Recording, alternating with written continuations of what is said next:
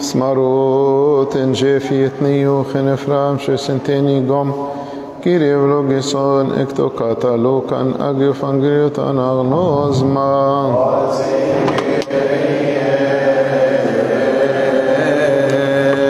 من مزامير أبينا داود النبي بركات علينا أمين أعترف لك بخطيئتي ولا أكتم إثمي. قلت أعترف للرب بإثمي. وأنت صفحت لي عن نفاقات قلبي. هللويا. الإنجيل المقدس فصل بشارة معلمنا لوقا البشير. والتلميذ الطاهر بركات علينا. أمين. ليس أحد يوقد سراجا ويضعه في خفية ولا تحت مكيال بل يضعه على المنارة لكي ينظر الداخلون النور. سراج جسدك هو عينك فإن كانت عينك بسيطة فجسدك كله يكون نيرا. وإن كانت شريرة فجسدك كله يكون مظلما. انظر إذا لئلا يكون النور الذي فيك ظلاما. فإن كان جسدك كله نيرا ليس فيه جزء مظلم. يكون نيرا كله كما يضيء لك المصباح. بلمعانه.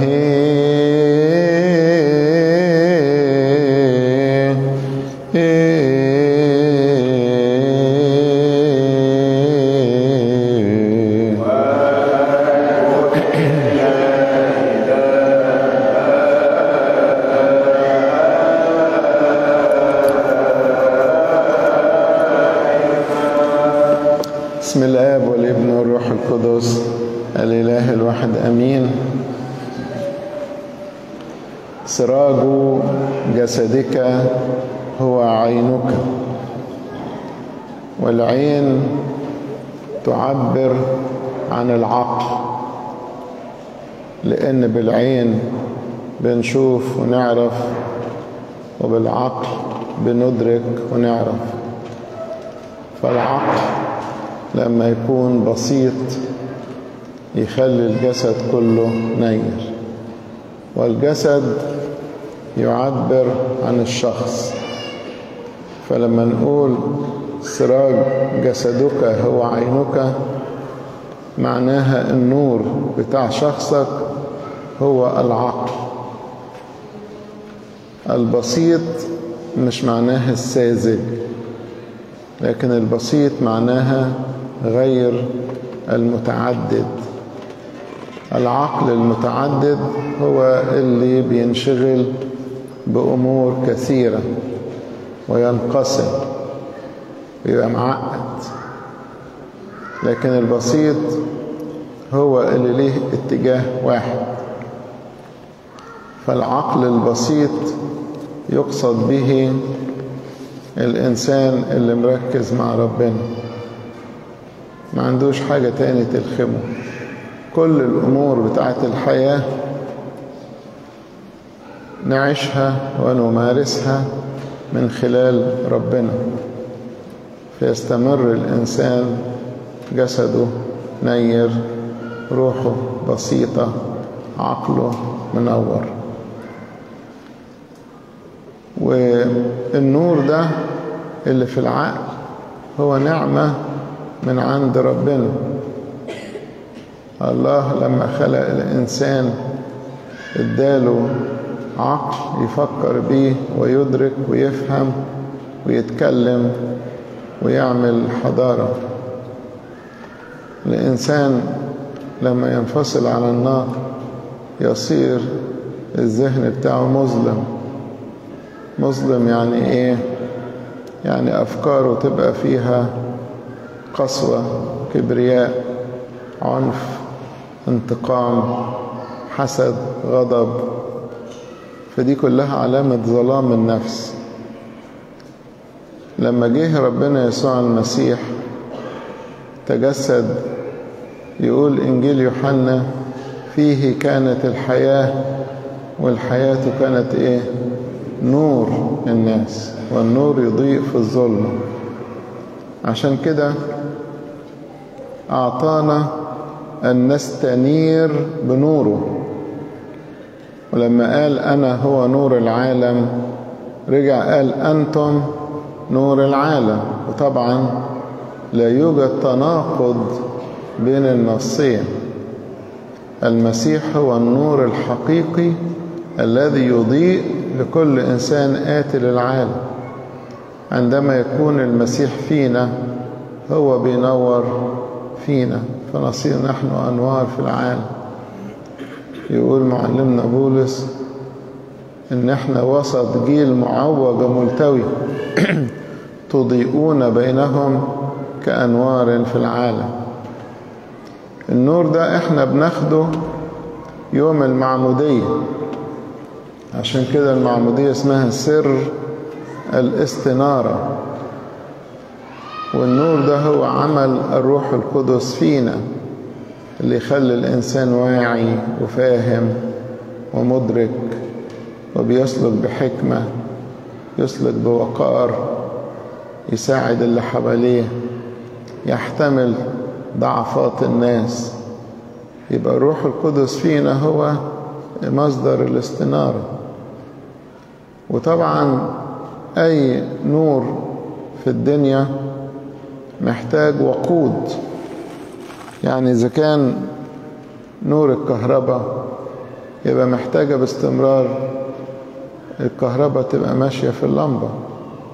لما بيتقطع التيار الكهربائي اللمبة تنطفي. وإذا كان قنديل بالزيت أو لمبة بالجاز أو أي مصدر لابد أنه بيستهلك وبيخلص. فمحتاجين دايما نعمر القنديل بالزيت عشان يظل منور. وهو ده اللي اتكلم عنه ربنا يسوع في المثل بتاع العذارى الحكيمات والعذارى الجاهلات. الجاهلات كان معاهم مصابيح ومعاهم الأواني بس فضيت. أخذوا المصباح زينا يوم المعمودية. لكن ما كانوش بيعمروا الزيت فصاروا منطفئين. عشان كده يقول معلمنا بولس لا تطفئوا الروح. الحكيمات ظلوا منورين لغاية لحظة مجيء العريس والأواني مليانة بالزيت. هنا الزيت والنور هو العمل الروحي اللي أنتوا بتعملوه. أنتوا وقتي جايين القداس تعملوا إيه؟ تعبوا زيت. خلي حياتك منورة. بس خلي بالكم وإحنا في القداس في ناس فعلا يمتلئون بالنعمة وفي ناس ولا يتأثروا. اللي هو بينشغل بالكلام وبيقعد يشوشر على اللي حواليه.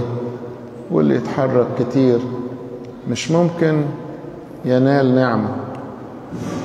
الإنسان اللي بيصلي بالروح وبالحق وقلبه مشغول بربنا وعينيه مرفوعة للسماء أو عينيه على المذبح أو عينيه على أيقونة المسيح بيتكلم معاه أو قافل عينيه ورافع قلبه لفوق من خلال صلوات القداس عمال يمتلئ بالنعمة. الإنسان اللي يحضر قداسات كتير واللي يصلي بالإجبية واللي بيواظب على الصيامات في كل مواعيدها واللي مواظب على قراية الكتاب المقدس واللي بيخدم الناس إنسان منور. عقله مستنير عينيه بسيطة فيصير كله منور كل كيانه منور. عشان كده في ناس فعلا تحس عندهم استنارة تلاقيهم حياتهم جميلة ونظيفة وذكية كده فيها ريحة عطرة. وفي نفس الوقت تاخد منهم مشورة تلاقيها مليانة بالحكمة ومليانة بالعقل والاتزان. وناس تانية عايشة وخلاص. إحنا نحب إن يكون فينا نور والنور يكون بينور العقل ويكون الإنسان دايما إنسان بتاع رجل الله. يقول لك إنسان الله مليان بالنعمة وعبوا كتير من النعمة دي خزنوا في مخزنكم الروحي خصوصا في الصوم الكبير القداسات الطويلة والألحان الجميلة والقراءات